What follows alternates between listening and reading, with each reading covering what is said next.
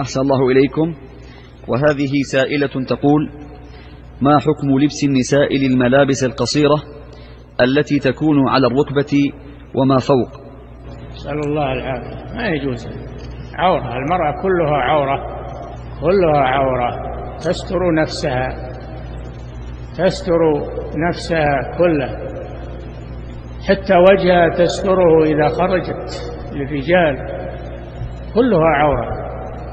إلا في الصلاة إذا لم يكن عندها رجال غير محارم فإنها تكشف وجهها في الصلاة عند محارمها من الرجال. أما إذا كان فيه رجال غير محارم فهي تستره ولو في الصلاة. نعم.